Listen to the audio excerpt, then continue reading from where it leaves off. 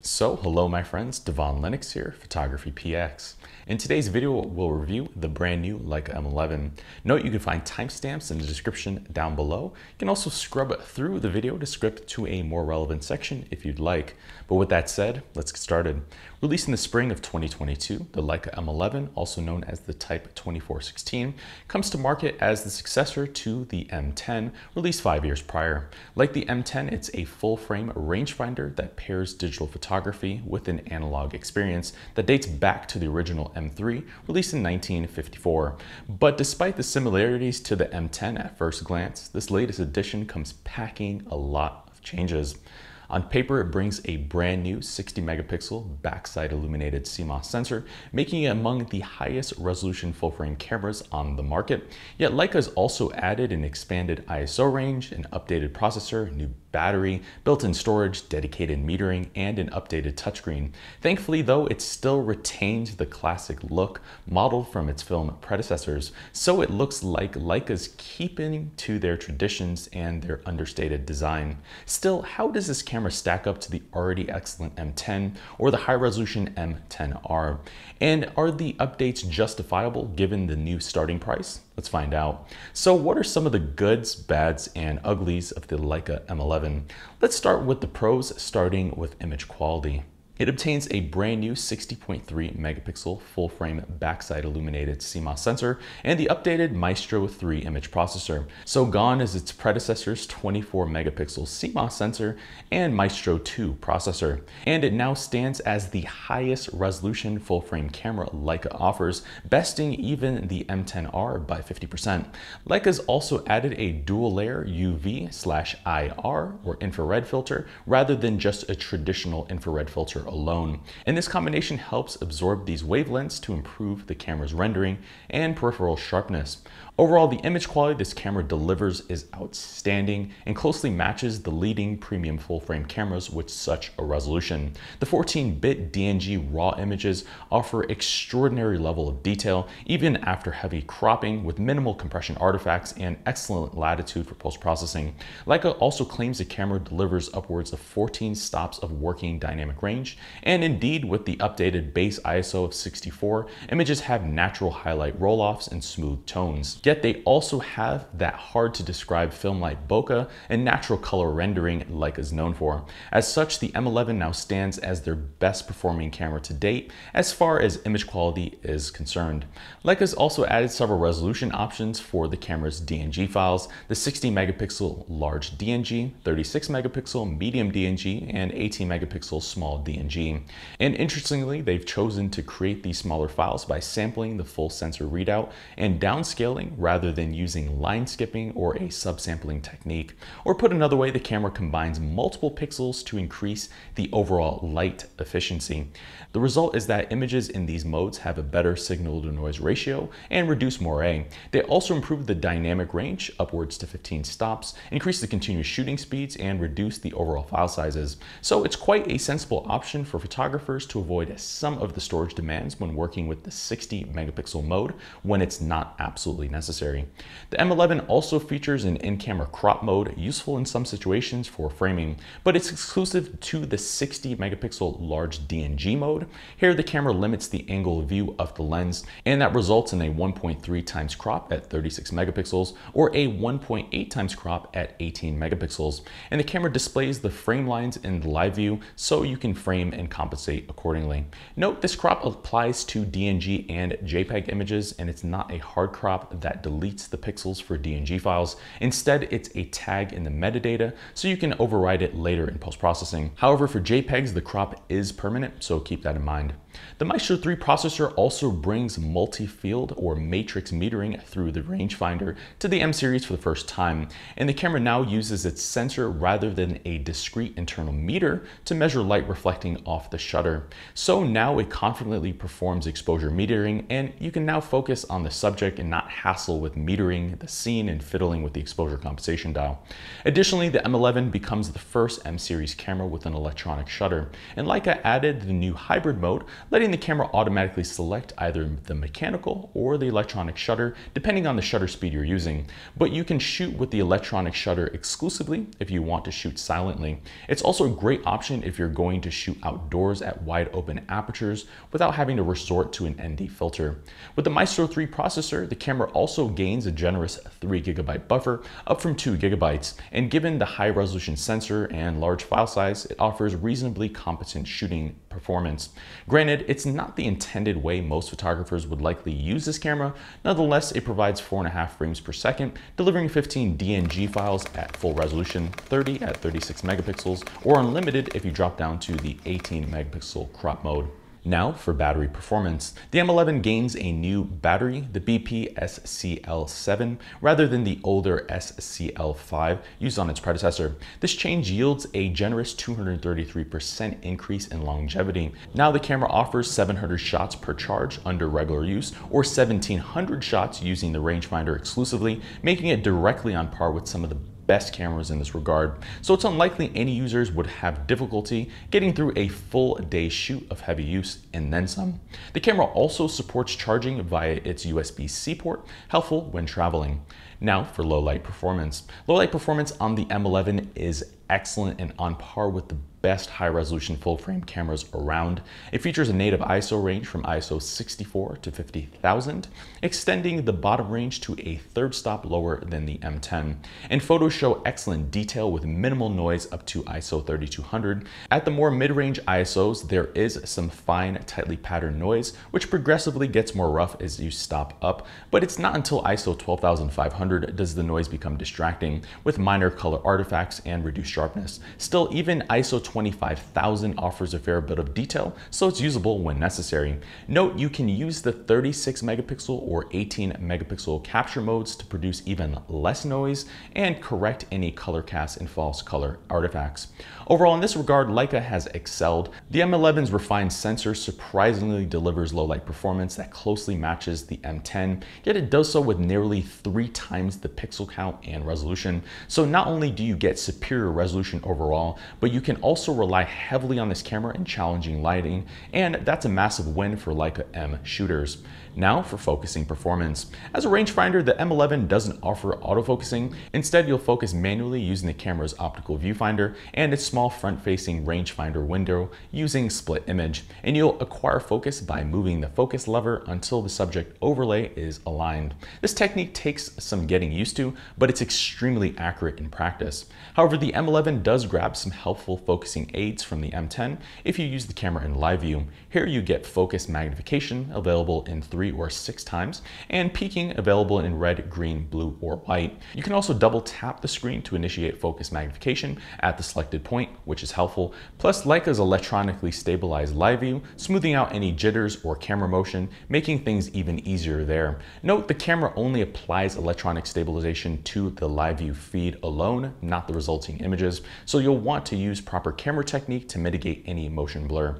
Overall, focusing on this camera is intuitive, but does take time to master. Thankfully, once you master it, you'll realize it's faster than manually focusing on most mirrorless systems using focus peaking, microprism, or split image assist. The live view experience is also entirely usable, although it doesn't play to the camera's core strengths. Live view as a whole isn't as accurate as using the viewfinder, so it's better served as a general guide for acquiring focus. Still, having this functionality on a rangefinder does make it easier when working on a tripod or when you're shooting at awkward angles, especially given the camera has a large screen and high resolution than previous models. So it's a nice crutch to have when you need it. Now for the display in Viewfinder.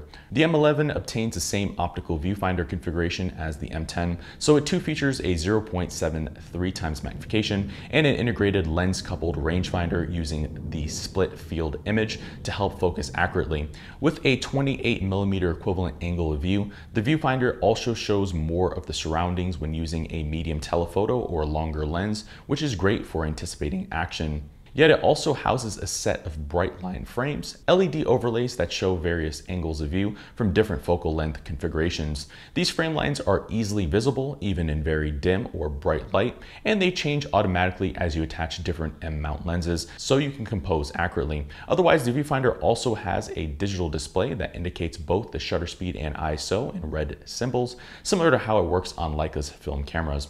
Overall, the rangefinder implementation is excellent and closely follows the M10 nicely. It offers outstanding clarity, a wide angle view, and a comfortable working magnification. The result is an incredibly focusing and viewing experience in most situations. Otherwise, the M11 also features a 3-inch rear touchscreen LCD with a Gorilla Glass coating like the M10, but it offers more than double its resolution, in this case 124% to be exact, and it now stands at 2.33 million dots, up from 1.04 million dots. The LCD offers striking colors which are both rich and deep. It's also bright enough to use outdoors comfortably, and it's very capable of displaying the images taken on the M11's high-end sensor. The LCD also obtains touchscreen support from the M10, and it grabs many common gestures including double tap to zoom, pinch to zoom, dragging and swiping in playback, or adjusting the quick menu. Overall, the display on this camera is excellent and leaves little room for complaints. Now on to the user interface. The M11 attains a similar menu system as the SL2 and Q2 models, organized into five pages with six settings, totaling a mere 26 options in total. And this menu is accessible by double clicking the menu button or tapping the three bar icon in the bottom right hand corner of the status screen. Speaking of the status screen, it's Leica's version of a quick menu, and this single page houses 12 of the most common options like metering, drive, file format, and much more. Nevertheless, since the M11 is a photography-oriented camera, the menu is rather bare bones, but in typical Leica fashion, the organization, hierarchy, and naming conventions are all immediately clear. And the overall user experience on this camera is excellent. The menus are clean, modern, and easy to navigate, especially compared to the complex designs offered by other camera manufacturers, so newcomers to this system should find this camera refreshing, easy to navigate, and quick to master. The camera also obtains the programmable favorites menu, a customizable menu page that houses all of your most used settings, and double tapping the menu button recalls this menu first. Externally, the M11 has a broadly similar design to the M10 with nearly identical dimensions. With that, it has a top-mounted ISO dial, a shutter speed dial with settings from 1 4000th of a second to bulb, but due to the small size, some of the incremental settings for ISO aren't available on the dial, but you can access the third stop increments by using the status screen and the M option on the dial. Either way, having access to all the exposure settings makes for an immediate and direct shooting experience. Otherwise, the camera also obtains the M10's front-facing image field selector switch to adjust the bright line frame pairs, and it also keeps the M10's three-button rear layout and rear command dial integrated into the thumb rest. But the rear dial now supports a push-in function, which you can customize to act as a third custom button. However, Leica did add a new unlabeled function button on the right corner by the shutter release, and you can customize this button to one of 28 different menu settings available in the main menu. But gone is the front-facing custom button available on the M10, so it's more of a location change if anything. Still, this new position is superior to the old and easier to access when shooting. Leica's also removed the camera's base plate, a controversial move to some longtime fans. Instead, it retains the same bottom design from the SL and Q ranges. Nevertheless, it does provide more direct access to the battery and SD card slot, which you can access by pulling the bottom lever. And this design simplifies the process and inevitably speeds up the workflow of changing either component since you don't have to unscrew the base plate first.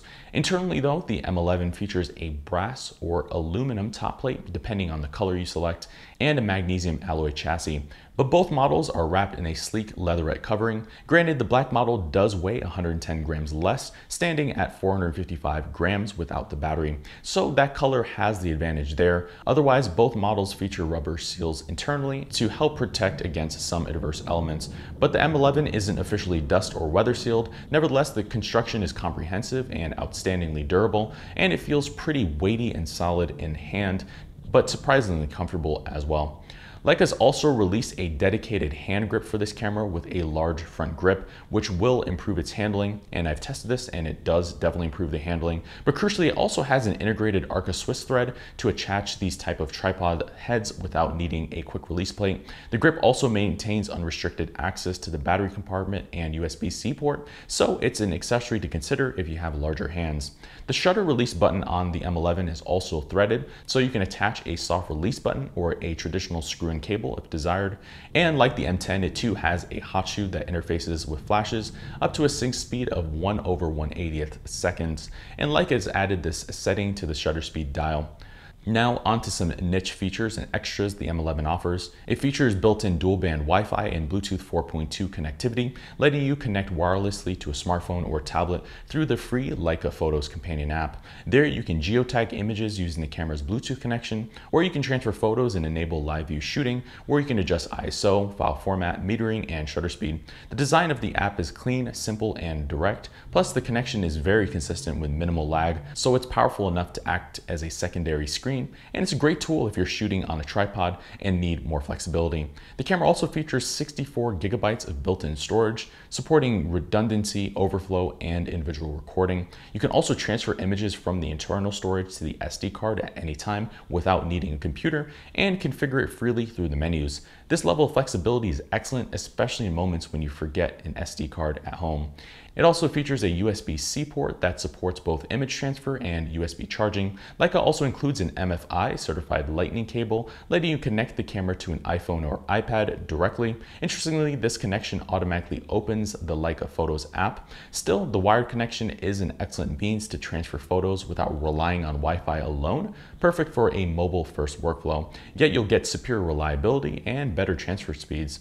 Note this lightning cable that's included doesn't support charging or syncing other Apple devices. The camera also obtains the level gauge, a digital level used to correct the horizon, and it obtains exposure clipping, and you can customize the upper limits to better gauge your exposure in live view. It also has interval shooting to create time lapses, and you can customize the number of frames, the interval between them, and the countdown. Like the M10, it also features exposure bracketing, customizable between three or five shots, and one to three EV stops.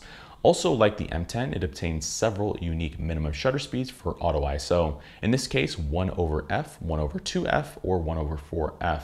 In these settings, the camera detects the focal length of the attached lens, then uses that value to create the minimum shutter speed. So for example, using a 75mm lens changes the minimum shutter speed to 1 175th, 1 150th, or 1 302nd. And it's a clever and unique option that'll guarantee you avoid camera shake regardless of the lens used. But with the pros of the Leica M11 out of the way, what are the cons of the M11? Let's start with image quality. Unfortunately, this camera has quite a long startup time, which averages around 4 seconds.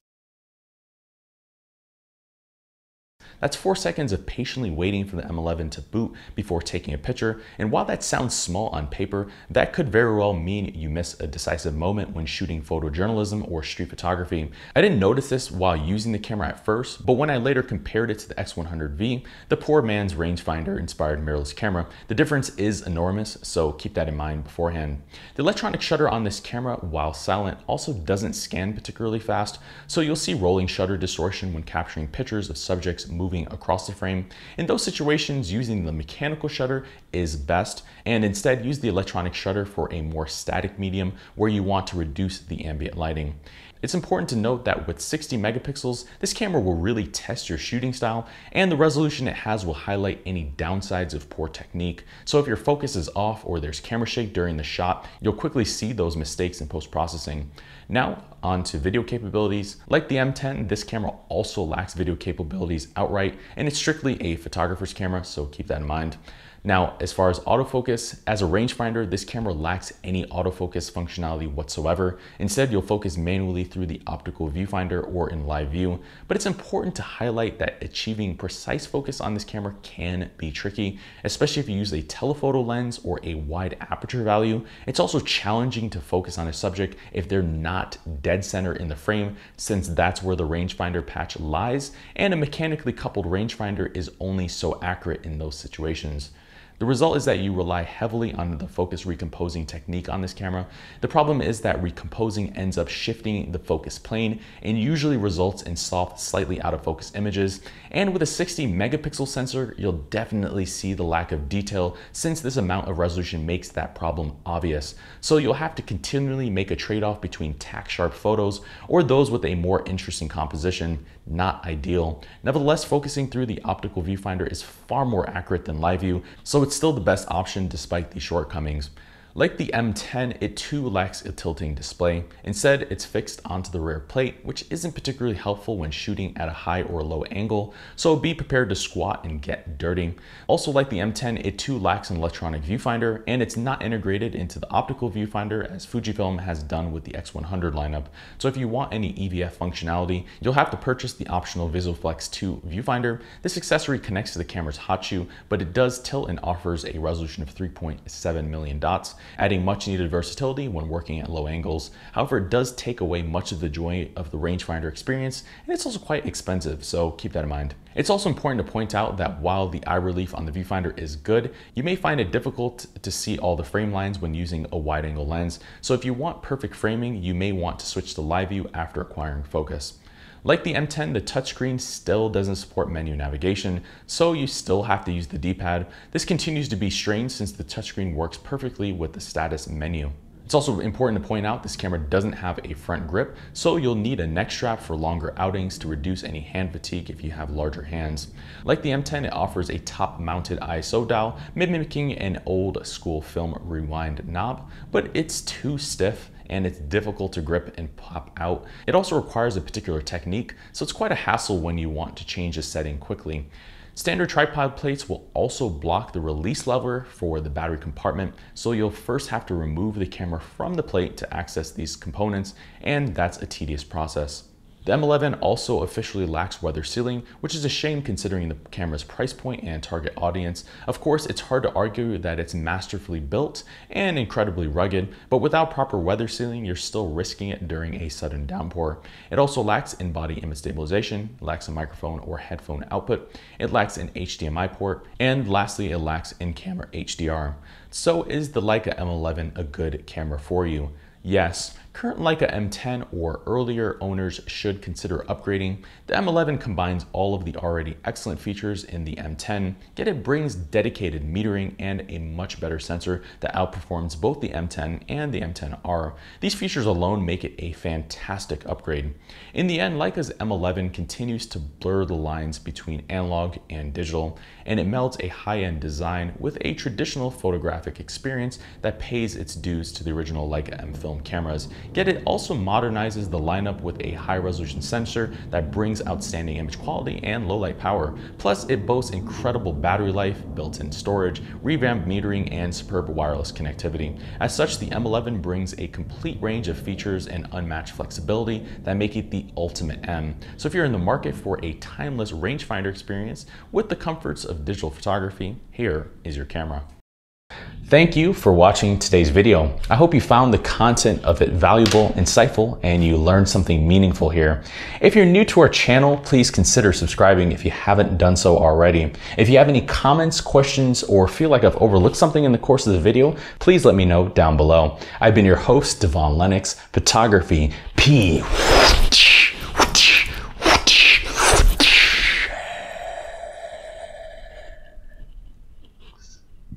dot com.